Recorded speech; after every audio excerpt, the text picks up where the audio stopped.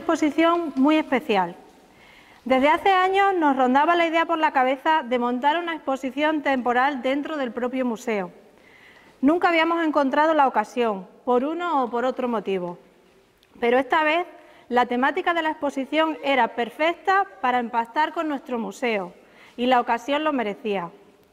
Como ustedes saben, todo lo que hay aquí está donado en su mayor parte por vecinos de Garrovillas. También tenemos algunas piezas que han venido de otros pueblos de alrededor. Cuando una pieza nueva nos llega, pasa por un tratamiento de curación, por ejemplo en el caso de la madera, de limpieza e incluso de restauración. Después lleva un trabajo de mantenimiento. Detrás de todo esto están las personas que, aparte de hacer esta restauración, abren al público cada fin de semana, los voluntarios de la Asociación Cultural, a los que agradecemos enormemente su esfuerzo, tanto por el mantenimiento y la conservación de las piezas como para abrir con una sonrisa y esperar a los visitantes. Contamos también con la colaboración del Ayuntamiento, que a través de la guía turística abren a excursiones y turistas en horarios diferentes. Y es el Ayuntamiento también quien se encarga del mantenimiento del propio edificio. Hace poco se incluyó en, en un programa de murales, que lo habréis visto ahí en la puerta, y nos sentimos orgullosos porque ha pasado a ser un atractivo más para visitarnos. Todo este esfuerzo desde la, desde la, directiva de la asociación, por todo este esfuerzo, desde la directiva de la Asociación Cultural, teníamos ganas de dar más vida al museo, de hacer algo más para darlo a conocer. Es muy gratificante, sobre todo en estos días, cuando alguien que viene de visita te dice gracias por haberme devuelto un ratito a la casa de mi abuela, al campo con mi abuelo, al colegio, por haberme hecho recordar hasta el olor de la matanza. Por eso, y porque no queremos que nada de esto se pierda, hemos elaborado un inventario con todas las piezas que actualmente tenemos en el museo. Este inventario estará en constante movimiento, estará abierto a cuando nos llegue algo nuevo y se irá actualizando cada cierto tiempo. Ha sido un trabajo minucioso y queremos que una copia del inventario quedase en el ayuntamiento. Así que si la alcaldesa viene, le vamos a entregar una copia.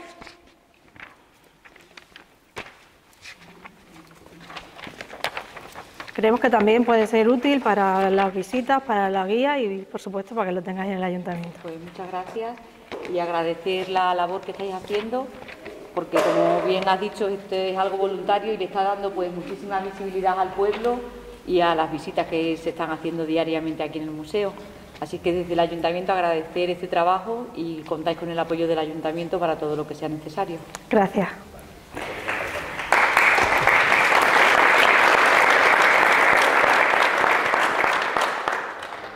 El otro motivo y el principal por el que estábamos hoy aquí era presentarles a Fernando Serrano y a su exposición. Fernando Serrano nace en Cáceres y se traslada a Barcelona donde cursa sus estudios en la Universidad de Arte. Se especializa en escultura y dos cursos de doctorado, obteniendo el certificado de suficiencia investigadora. Se gradúa en la Escuela de Lotja de Artes y Oficios en técnicas como el tapiz, la talla en madera, el grabado y técnicas de estampación y certificados de restauración en piedra. Esta formación le prepara para ejercer de profesor de dibujo, de diseño de producto, de maestro de modelado y vaciado y maestro de tapiz en diferentes escuelas de artes aplicadas de Barcelona desde 1986. Paralelamente a la docencia se dedica a la investigación plástica dentro del campo de arte como eh, artista plástico multidisciplinar, figurando sus obras en colecciones privadas. Cuenta con una larga trayectoria expositiva, fundamentalmente en Cataluña, aunque participa también en diversas muestras internacionales como Iberarte, en la Galería de Arte 90 CRE, en Montemor o Novo o en las muestras internacionales del Segundo Arte 50 y en la exposición de artes plásticas en el Museo Centro Cultural Casa Piano de Lisboa. Desde el 2008, buscando recuperar el vínculo con Extremadura, expone en diversos espacios expositivos extremeños como la Galería de Arte María Nieves Martín, el Museo Etnográfico de Villafranca de los Barros o la Sala de Exposiciones de la Obra Social de Caja Badajoz. Y hoy expone aquí, en nuestro Museo Etnográfico. La, la, exposición que nos ha preparado hoy, además me consta que la ha preparado con muchísima ilusión, es Migratio, Migratio parte de la propia experiencia del artista como migrante, de su proceso de retorno a su tierra tras 46 años fuera. Consta de obras escultóricas que él denomina tablas de salvación, ejecutadas a partir de objetos con los que reconstruye su reencuentro con el pasado, útiles para labrar la tierra, callados, restos de puertas y ventanas, enseres, trabajados mediante la técnica del ensamblaje. Estas tablas representan el tránsito, la búsqueda de las personas por encontrar un espacio por habitar, dejando atrás lo familiar y lo conocido, y nos habla al mismo tiempo del abandono del mundo rural, de la pérdida de las raíces, del olvido, de los oficios, del trabajo artesanal y de la pérdida del vínculo con la tierra. Pero él nos lo va a explicar muchísimo mejor y yo simplemente ya les deseo que disfruten de la exposición, de su explicación y de las fiestas. Eh, aquí lo que hay es una amistad. Me temía que iba a tener que estar aquí y alguna palabra iba a tener que decir, pero no la tenía preparada. Tengo preparado ese texto, ese texto que circulará, que está en el folleto que, han editado, que ha editado la asociación. Está muy meditado, échenle ustedes un vistazo porque en él he volcado pues, eh, la trascendencia que pueda tener esta exposición y este engarce en este, en este lugar tan especial. Eh, quería decir que antes de nada lo que hay aquí es quizás un primer gesto de aproximación a la amistad. Yo me desoriento muchísimo con los sonidos, disculpa, variado. Eh, yo me acerco a este museo por amistad con Teresa y con Leandro Monroy, hace muchísimos años cuando muchos, supongo, de los presentes que son eh, socios o que son amigos del museo, pues tenían eh, todo su almacén y todas sus piezas custodiadas y mimadas y en un lugar pues muy entrañable. Eh, creo que esos primeros pasos, primeros pasos difíciles, me imagino, ¿no? y sin saber, con mucha fe en qué acabaría todo aquello, eh, yo descubrí que, en fin, que allí lo que había era un convencimiento en estas personas que estos objetos debían ser cuidados y además eh, dados a conocer a sus paisanos, porque eh, es tan, tan, tan importante estos objetos que si no existieran ahora mismo echaríamos de menos todo nuestro pasado, todos nuestros ancestros dense cuenta que esto es una enciclopedia. Eh, son responsables ustedes, los visitantes, de, cuidarlos y de mantenerlos. No solamente el mérito está en ellos, eh, sino en saber entender de qué manera todos estos objetos pueden ser eh, trasladados a un mundo contemporáneo, un mundo contemporáneo como el que ahora mismo ofrece este Fernando, que parece que, excepto que por los materiales y por el reciclado, eh, sintoniza, pero lo que hay es una trascendencia. Eh, me explico. vamos a poner que yo estoy observando al azar pues una estrébede, un quinquel, una, unas tenazas, eh, herramientas de, copias para, tejas y que eso queda simplemente ahí como un recurso eh, solamente de lo que fue. Lo útil y lo importante es que pueda pasar de mano en mano y, se dé un relevo ¿no? generacional. Esto es lo que creemos que ha hecho Fernando. Eh, Fernando les, les digo que en el último apartado del texto de ese dístico que enlaza muy bien con todas las vanguardias extrañas. Aquí no quieran ver, claro, pues, eh, y ojalá que a lo mejor algún día llegue también una copia o un eh, eh, copista de, Velázquez. El mundo del arte ha tenido muchísimas bifurcaciones y esta es una de ellas, ¿no? Enlaza pues con las primeras vanguardias del arte dadaísta, del arte povera, del collage, del arte pues más humilde eh, y, del arte de utilizar los mismos elementos que ofrece la propia naturaleza, sin aspirar a altísimas tecnologías. Pues las altísimas tecnologías hoy por hoy, que serían el microchip, la fibra óptica y tal. Bueno, pues todos los artistas no eh, están en ese lenguaje, o sea, unos pueden estar haciendo algo con barro y ser tan dignos, unos pueden estar haciendo algo con una chapa o con una pieza pequeña en lugar de eh, que sea pesada o que sea eh, escultóricamente muy voluminosa. ¿no? Fernando eh, está en esa parte humilde, esa parte de observar los pasados, ¿no? y a la vez lo que hay es un gesto honesto, muy íntimo, de admirar a su propia familia, a su propio pueblo humilde del que se desprendió Abertura en, en los años 60, 70, si no me equivoco, ¿no?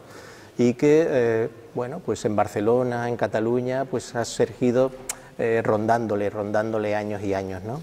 Él, ya ve, eh, le, han abierto un espectro de su gran bagaje académico y luego pues profesional y sin embargo dice, bueno, ¿y esto? Pues a lo mejor en su pueblo, sin esos estudios, lo hubiera podido seguir haciendo. No cabe duda de que posiblemente hubiera habido alguna coincidencia, pero en absoluto con este, esta hondura, esta hondura de querer eh, mimetizar la parte artística, la parte contemporánea y la parte antigua. Mm, eh, alguien que no abra un libro, alguien que no se preocupe pues incluso por internet, pues, eh, por la música más contemporánea de que se pueda estar dando ahora, no entenderá su tiempo. Hay que entender, o ese compromiso de los artistas contemporáneos está en tener un pie en el pasado y un pie en lo que queda por, por venir. ¿no? Eh, yo me, ya voy a terminar. a Fernando lo he descubierto relativamente hace poco.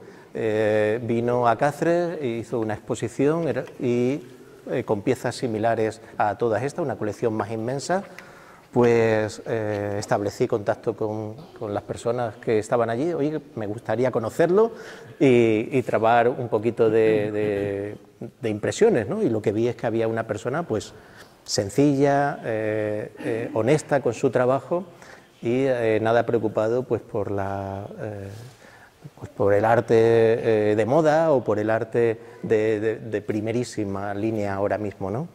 Eh, fui yo el que una tarde hicimos, eh, en dos días supongo, un periplo de, bueno, de esas esos flashes que tiene la gente, ¿no? de que en dos días pueden conocerse mucho más que 20 años yendo a la plaza y a, y a las romerías. ¿no? Pues nosotros en dos días nos nos abrimos de par en par, ¿no? Y fue en una tarde de esas que establecí contacto por teléfono con Leandro y Teresa. Creo que este lugar lo debes conocer. y creo que ellos, Leandro y Teresa, debían ver también la exposición allí en la Sala de Arte del Brocense de Cáceres.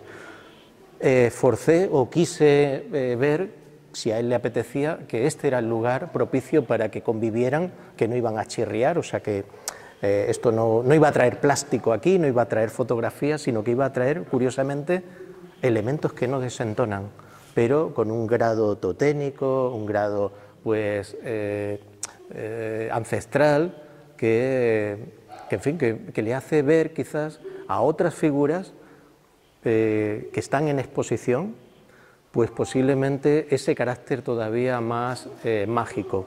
Yo les invito a una, tarea, porque soy profesor y, me imagino que eh, aquí hay alumnos de, de cuarto de primaria y, de, jubilados profesores. ¿no?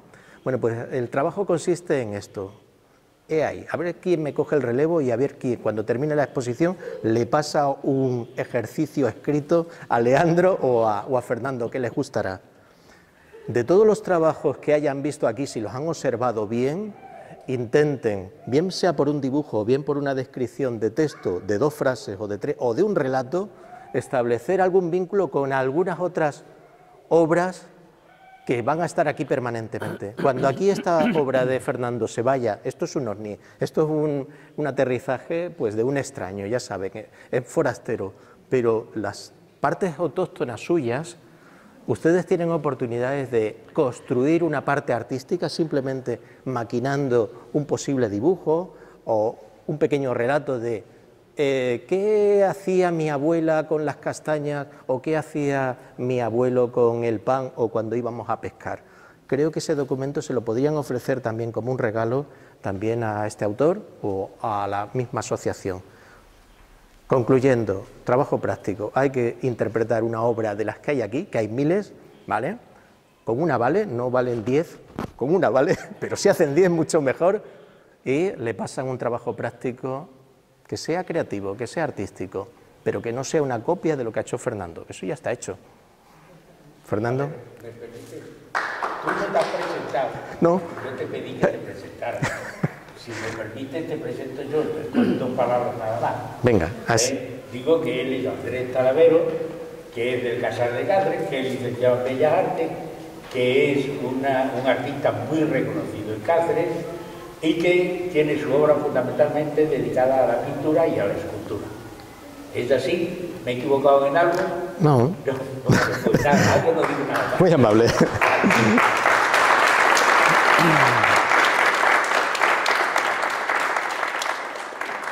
Bueno, ahora ya inevitablemente, después de Cristina y después de Andrés, inevitablemente me tocaba hablar a mí. Ya no sé qué decir, pues los dos han hablado mucho y no está nada mal y bastante coherente su discurso. Bueno, yo me limitaré a poca cosa.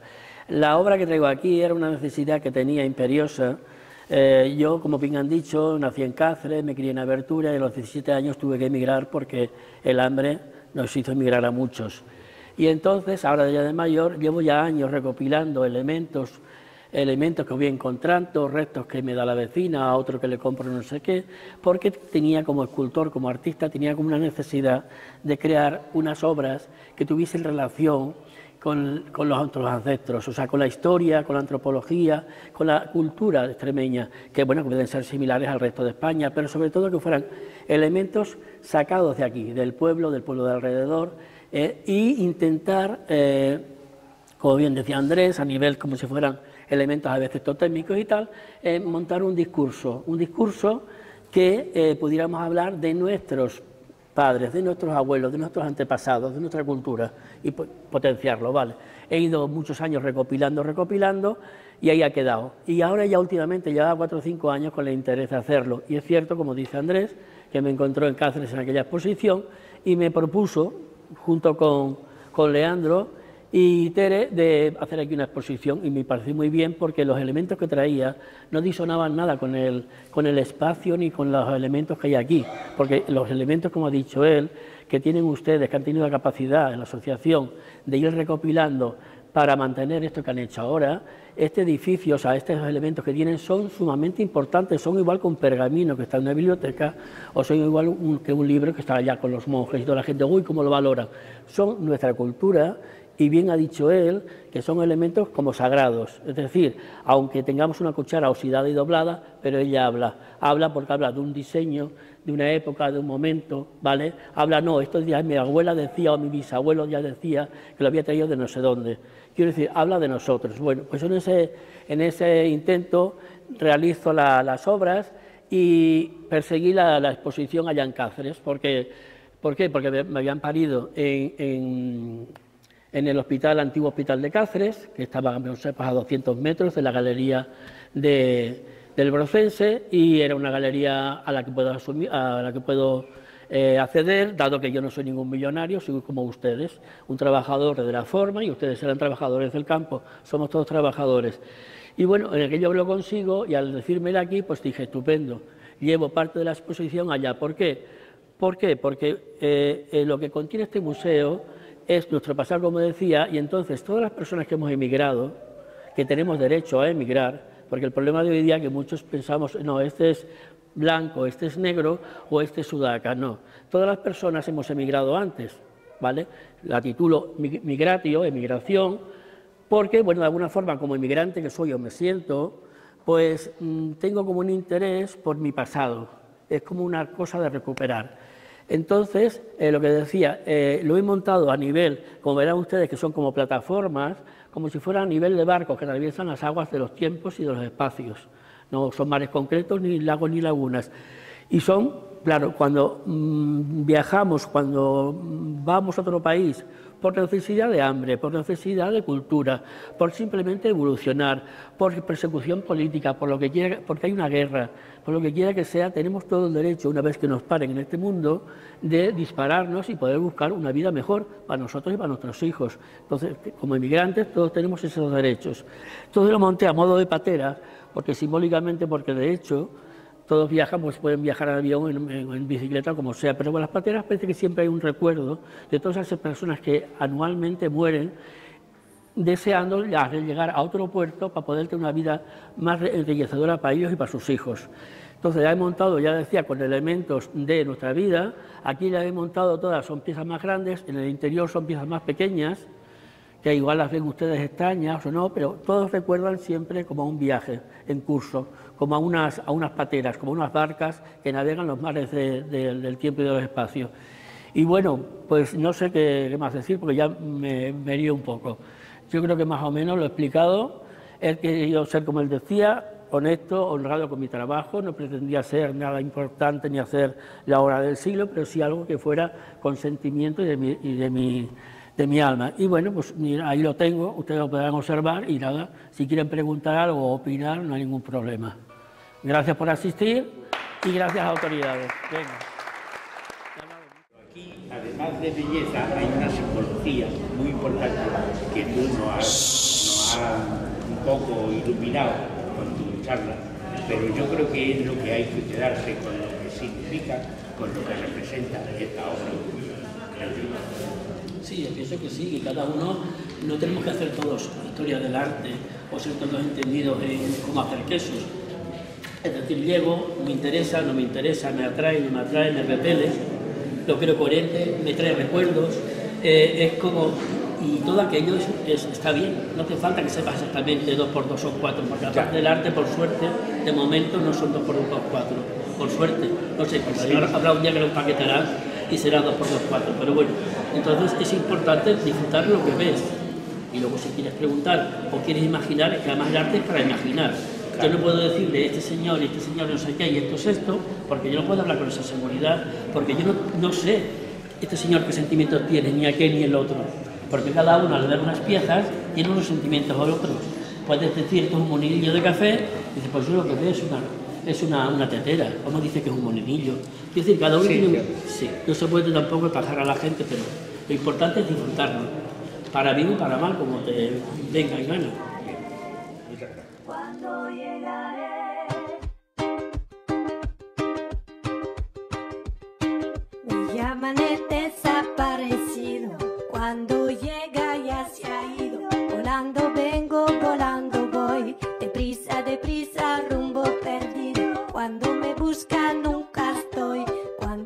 Cuando me encuentran yo no soy piconero, el carbonero Celejo a Hueca para que el carbón o el picón se, lo que no es el nombre. Y en cada sitio tendrá una forma parecida, pero es para eso. Los piconeros de Zorita son, mira, allí compré tres y una más del pueblo, de mi pueblo. Entonces las encontré muy, muy propicias, ¿por qué? Porque son barcas. Estas son muy, en el sentido ese, es fácil ver barcas. Y veo una bandera, ¿vale? Veo una bicicleta, veo cómo evolucionan los pueblos, o hay unas que llevan carros de medicamentos, o llevan elementos de electricidad. Con todo se trafica, con todo se trafica, ¿no? Y con el, con el emigrante más todavía. Bueno, pues se llevan cosas que todos arrastramos. Esto, por ejemplo, que me parece que es de aquello de la lana, de hilar la lana o lo que sea. Es decir, todos son elementos que han convivido con nosotros, que han estado con nosotros. No elementos así porque mira quedan bonitos o mono, no. O, o, el palo de una silla, que tú ya no ves un palo de una silla.